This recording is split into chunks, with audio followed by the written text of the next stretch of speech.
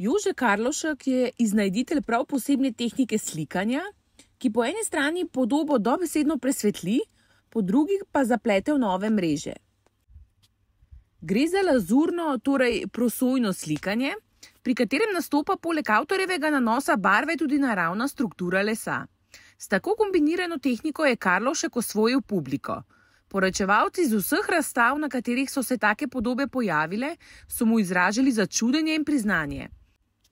V ozadju tega pojava pa se skriva poudarjena želja po ornamentalnem učinkovanju, ki seveda ni več samo izdelek umetnikovih rok, marveč izrablja tudi podlago.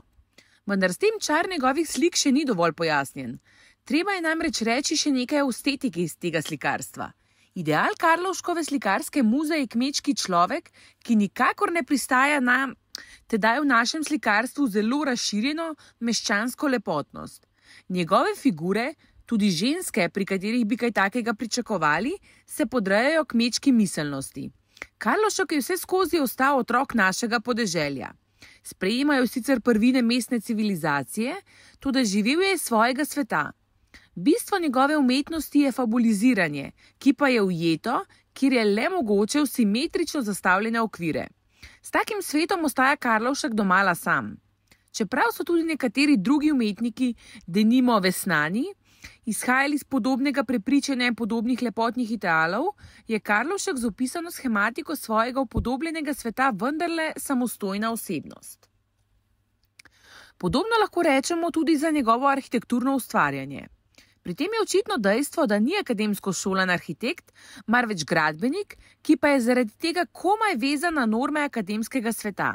Njegov neposredni ideal ostaja kmečki dom, ki ga nadaljuje tradicija domačega stavbarstva, le da ga Karlovšek civilizacijsko še dopolni, nekako estetsko izčisti. Ta zadnja lasnost pa je ne le Karlovškova osebna nota, marveč si za njo prizadevajo vsi likovni ustvarjalci. Karlovškov izvirni prispevek so poleg načrtov za nove domove zelo tradicionalno in skrbno pretehtano razporeditvijo prostorov ter bogatim ornamentalnim ostenjem, tudi posebej za gozdare načrtovane stavbe in kolibe. Izvirne projekte za te najskromnejše gozdovom primerne objekte je Karlovšek objavil kot nadaljevanje starejših prizadevanj. Spoštovanje funkcije in samostojno oblikovanje sta značilni kvaliteti modernega pristopa v arhitekturi ki ga ne moremo označiti drugače kot funkcionalnega. Na ta način se navidezna nasprotja stikajo, pomirjajo in bogatijo. Karlošku so bili posebej blizu tisti ustvarjalci, ki niso odklanjali domače tradicije, ki pa so z redukcijami popravili velik del motivnega fonda in ga vključili v novo arhitekturo.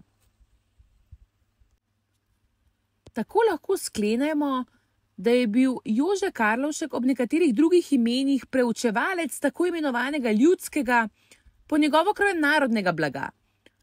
Ob starejšem Albertu Siču je bil vsekakor osebnost, ki je najglobje prodrla v bistvo tistega ustvarjanja, ki je rodilo zanimanje za ornament, za našo kmečko hišo in umetnostno obrt.